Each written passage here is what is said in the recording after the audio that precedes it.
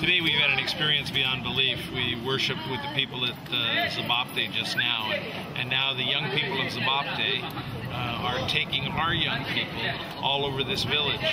It's not like living in Los Angeles. You can cover the whole village in about 20 minutes, 30 minutes but it's just action to assist these people in being able to live a productive and abundant life rather than living behind roadblocks rather living in a place where that they're hated uh, they're being helped by our church and by other churches to become the people of god capable and able in this world here at the school that we're at right now the Latin patriarch school we're taking and providing education for 56 plus people It's the only Christian school in the whole area. in all of Jenin area, yeah.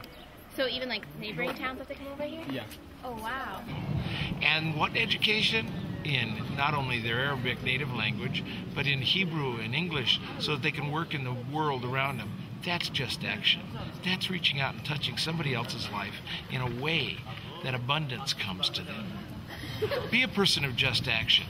There is so much we can do together if we're only willing to try. God bless you.